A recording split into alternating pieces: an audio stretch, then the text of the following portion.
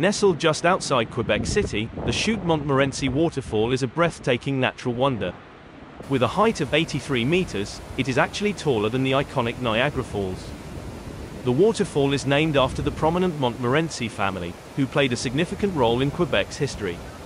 You can take a cable car ride to the top of the falls, where a panoramic observation deck awaits, offering sweeping vistas of the St. Lawrence River and the surrounding area. In addition, a suspension bridge spanning the falls provides a unique perspective and exhilarating views. We hope you have enjoyed this video. Let us know if you have visited in the comments.